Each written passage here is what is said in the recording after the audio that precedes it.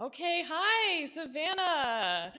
Um, well, everyone, we have something very exciting today. So, this is my friend Savannah, and Savannah and I actually pursued our degree, our undergrad degree in psychology together back in the day. and we used to take classes together and study for our exams, drinking wine in her apartment. And now Savannah is pursuing her PsyD, her doctorate from the University of San Francisco. And she reached out to me with a very interesting prospect that is perfect for our community and what we do. And basically, Savannah is doing a study examining some psychological phenomenon in atheists as a population. Uh, and I read your dissertation. I was so impressed by it. It was so interesting the way in your dissertation you almost took an intersectional lens of atheist identity and the way that you integrated like the minority stress theory into that. I was like, oh my God, I never thought about this for my own community and population. So it was so interesting and all the research behind it. And um, so, anything else you'd like to introduce about yourself before we explain what this is and how people can get involved? Um, I mean, that's basically it. I will add that I actually knew about the Atheist Republic because I've been a part of this organization too since I was in high school. What? Um, I didn't even know this. yeah, um, I grew up in a very conservative and religious area and um, it was a way that i was able to, to find people online that shared my intersectional identities. And so very full circle moment. Thank thank you so much for having me. I'm excited to be here and talk about something i'm really proud of. Oh my god that's so cool. So part of what savannah is doing to complete her doctorate and part of her dissertation is conducting a study on atheists in a psychological context. So, what inspired you to study atheists like through this lens and as a population? Absolutely. So, I mean, it started because of the sort of cultural context in which I grew up, uh, where, you know, I didn't. I, I didn't necessarily grow up with people around me that mirrored or appreciated my identities. And being atheist was a huge part of who I was. And that was because I was in religious schools. And very quickly, I realized because of some personal stuff going on in my home that it's very hard to try and heal and make meaning of the suffering of life when you do not have a community presence um, in a way that mirrors who you are and validates and witnesses your experience here. And so I really, this question of like, how are atheists managing to achieve post traumatic growth after experiencing trauma uh, was, you know, an important for me to examine personally, but also now professionally. And I'm really excited to be able to contribute to the research body in a way that I feel is really meaningful. I I'm I'm just like so excited about this because I'm always like looking for studies about this, and we talk about it often on our news show, and then I'm like, oh my god, someone is that was part of my life is literally doing this work. How cool! Um, so yes. what is the name of your study, and what are you investigating? Yes. So the name of the study it's titled "The Experience of Post Traumatic Growth for Atheists." And so I'm studying a primary research question and a secondary one, but the primary one is how do atheists who have experienced trauma achieve post traumatic growth? And I'm doing this because currently there are no empirically researched studies that exist in the United States that examine this question. Basically, atheists have been uh, ignored uh, historically in the research body, which is why you can't find any research on them. Uh, and so, yeah, that's what I'm studying. And uh, the, the second question that I'll be answering is to what extent do atheist post traumatic growth processes overlap with the existing processes that have been studied for theistic populations? That is so fascinating. Oh my god. I'm really excited by this. Um so what is post-traumatic growth? You.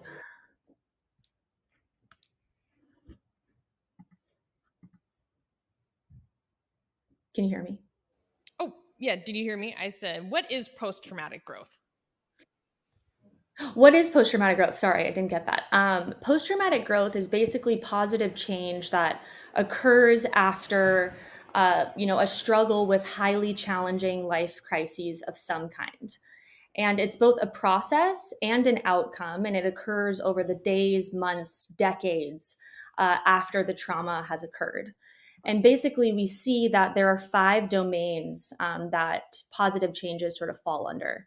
The first is changes in how we relate to others. Um, the second is new possibilities in life that maybe we didn't see before. The third is personal strength. So maybe we realize that we are stronger than we thought we were before. Um, and then the spiritual and existential change that follows, I think, is what this study is really tapping into because atheists cannot necessarily, it, it's an existential identity. Um, and the last one is appreciation of life. And so we know that, you know, horrible things basically happen after trauma, and those are well documented. Uh, the research is skewed heavily toward a deficit based lens, and post traumatic growth offers a strengths based lens, which is what I really love about the theory. Wow. Okay. So, who is eligible to take part in your study? Yes. So you just need to be 18 or older. It's throughout the lifespan. So, really, any age. Uh, you need to have gone through a trauma of some kind. And you also need to have been atheist before the onset of the trauma. This does not preclude individuals who were religious growing up from participating. They just need to have been atheist before the trauma happened. Uh, you also cannot be currently abusing substances, uh, and you need to read and write past about a sixth grade level and not have been diagnosed with a psychotic disorder in the past.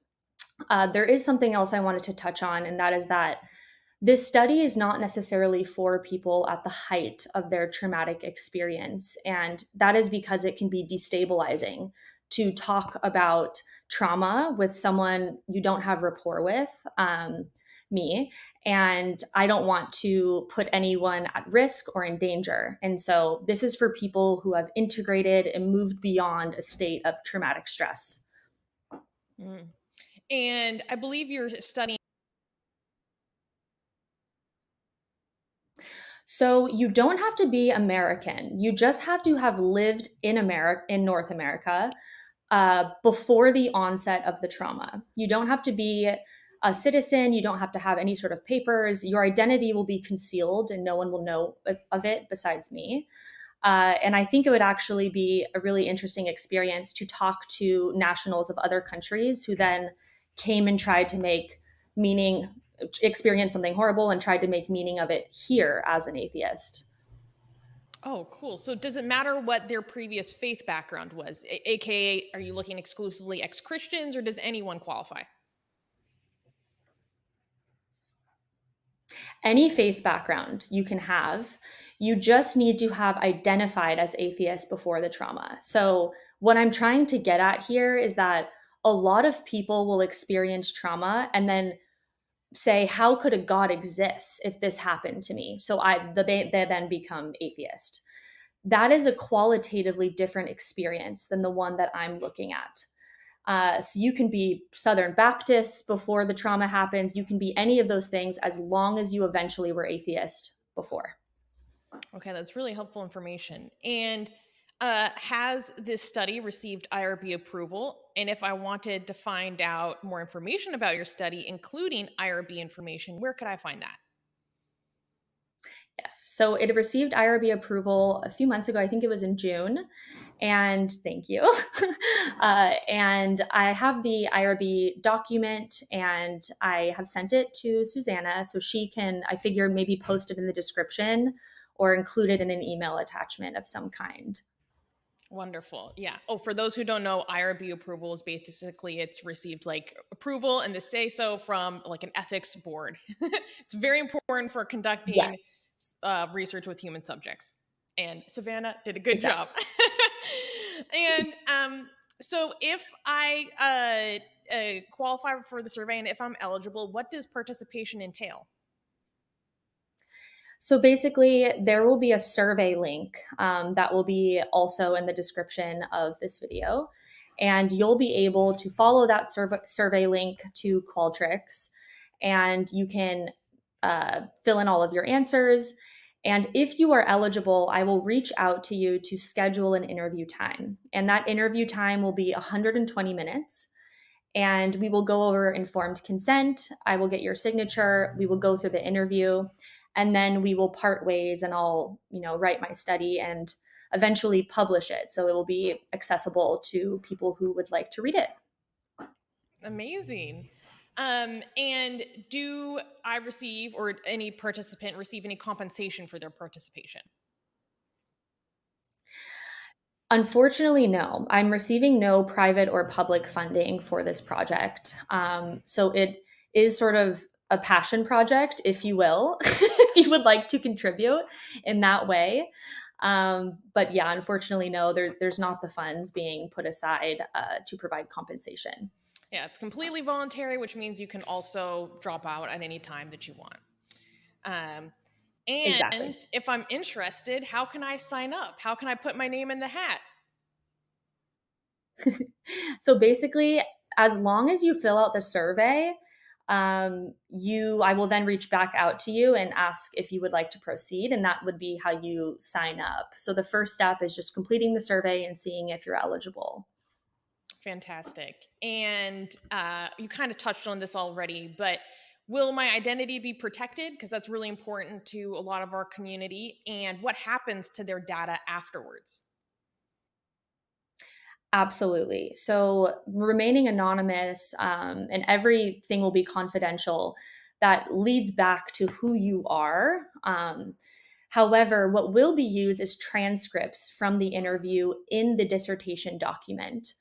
And anything that could be traced back to your identity, uh, where you live, your birthday, anything like that will not be included. And once the uh, interviews have been analyzed, everything will be destroyed to never be seen again. And um, the only thing that will live on is the dissertation document. Amazing. And um, this is a fun question. How would my participation or any potential participants' participation further the study of atheists? Yes. So the short answer to this question is that atheists have not been studied in a capacity that I don't think any of us are happy with. Um, atheists have been studied in terms of demographic characteristics of them. Uh, for instance, we know that they're more likely to be male than female and live in certain parts of the US as opposed to others. Uh, but little is known about the subjective human experience of being atheist in this country.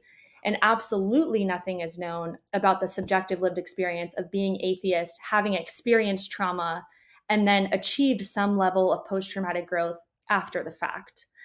My ultimate goal for this project you know you know of course there's research implications but more so i want to provide a how to guide of how to survive after trauma for people that are looking for some sort of mentorship or person to look to to to prove to themselves that it's possible.